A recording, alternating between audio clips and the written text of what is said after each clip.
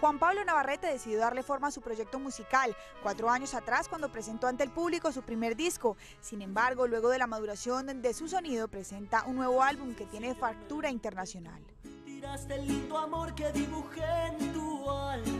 Lo hicimos en México, en el estado de Sinaloa, con el maestro Luciano Luna, quien es uno de los grandes productores y compositores que tiene en este momento México en, en música regional y, empezamos ya a trabajar en este álbum discográfico de los cuales ya han salido dos canciones.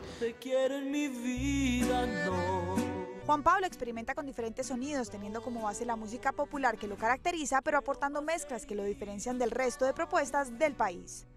Para su más reciente sencillo le apostó a la música tradicional mexicana. La idea era hacer un aporte e innovar en el género popular, hacer algo diferente.